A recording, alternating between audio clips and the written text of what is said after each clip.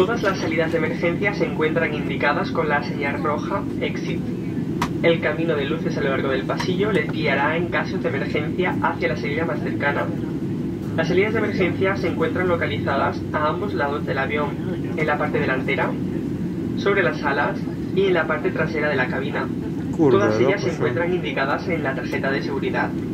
Su salida más cercana puede que esté detrás suya. En caso de evacuación, deberá dejar a bordo del avión todas sus pertenencias. Para abrochar el cinturón de seguridad, inserte el extremo metálico en la villa y ajustelo tirando del final del mismo. Para desabrocharlo, levante la tapa de la villa. En el caso de una pérdida de presión en la cabina, las mascarillas de oxígeno caerán automáticamente del panel encima de sus cabezas. Permanezca sentado y tire firmemente de la mascarilla para iniciar el flujo de oxígeno.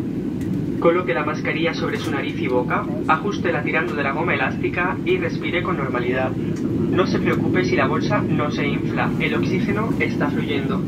Póngase su mascarilla antes de ayudar a otros.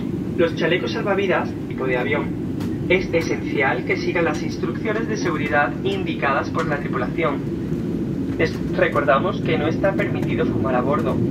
Su equipaje de mano deberá estar adecuadamente colocado en los compartimentos superiores o debajo del asiento delantero sin bloquear el pasillo ni salidas.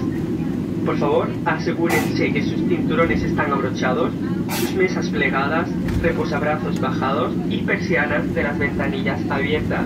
Por su seguridad, les recomendamos dejen sus cinturones abrochados durante el vuelo.